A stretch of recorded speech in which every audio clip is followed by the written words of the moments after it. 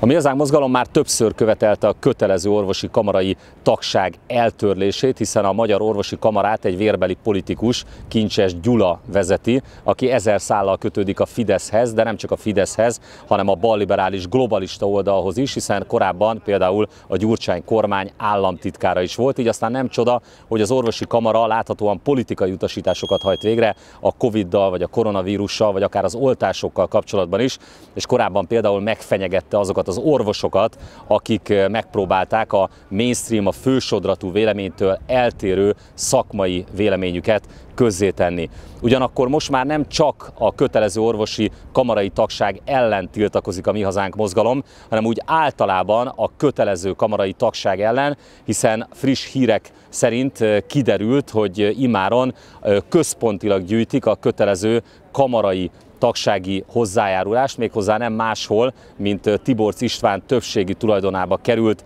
Granit Bank számláján, így aztán látható, hogy most már a politika a különböző kamarákat nem csak politikai utasításokkal akarja irányítani, hanem még a pénzüket, pénzükre is szeretné rátenni a kezét. Itt akár az iparkamarára gondolunk, de gondolhatunk bármelyik kamarára. Azt gondoljuk, hogy itt az ideje a végrehajtókhoz hasonlóan, hogy górcső alá vegyük a különböző kamarák működését, meg meg kell azt vizsgálni, hogy mennyi és milyen szakmai segítséget adnak a különböző szakmáknak, és mennyire kötelező politikai irányításról van szó, kötelező hozzájárulásról, amelyért cserébe nem kap semmit a vállalkozó, nem kap semmit a magyar dolgozó, így aztán azt gondoljuk, hogy alapvetően kell a kamarai